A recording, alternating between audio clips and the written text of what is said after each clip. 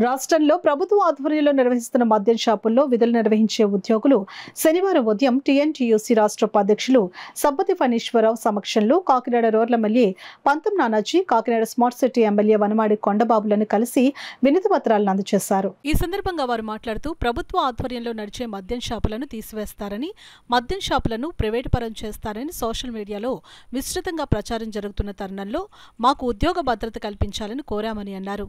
తమకు న్యాయం చేయాలని రోర్ల ఎమ్మెల్యే పంతం నానాజీని సిటీ ఎమ్మెల్యే వనమాడి కొండబాబును కోరగా వారు తక్షణం స్పందించి రాష్ట్ర ముఖ్యమంత్రి చంద్రబాబు నాయుడు దగ్గర తమ సమస్యలను చర్చిస్తామని తమకు హామీ ఇచ్చారని అన్నారు.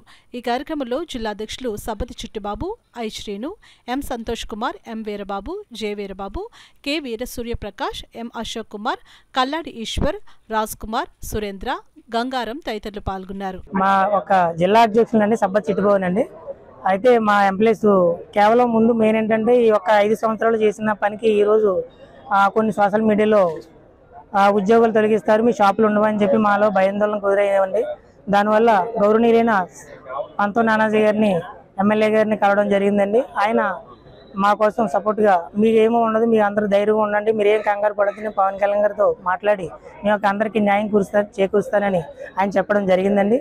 ఆయనకి ధన్యవాదాలండి. అలాగే మీడియా మిత్రులకు ఎన్నో మాకు ఎంత ఎన్నా కష్ట సుఖాలు ఉన్న మీడియా మిత్రులందరూ కూడా మాకు సపోర్ట్గా నిలబడి ప్రతి ఒక్క వార్తని చేరదీసినందుకు ఆయనకి మిత్రు మిత్రులు అందరికీ కూడా ధన్యవాదాలండి. అట్లాగే మా యూనియన్ సభ్యులందరూ కూడా సపోర్ట్తో వాళ్ళందరూ మా ఆల్మోస్ట్ మొత్తం అందరూ కూడా అలాగే యూనియన్ ఒక మెంబర్లు ఐ శ్రీనివాస్ గారు కానివ్వండి అలాగే వీరబాబు గారు కానివ్వండి సంతోష్ గారు కానివ్వండి అందరూ కూడా సపోర్ట్తో ఈరోజు ముందుకెళ్ళి ఇంకా బలోపేతంగా యూనియన్ బలోపేతనంగా చేయడానికి కృషి చేస్తూ మా యొక్క సమస్యల్ని ప్రభుత్వం దృష్టికి తీసుకెళ్ళి మా యొక్క సమస్యలు పరిష్కరిస్తారని కోరుకున్నామండి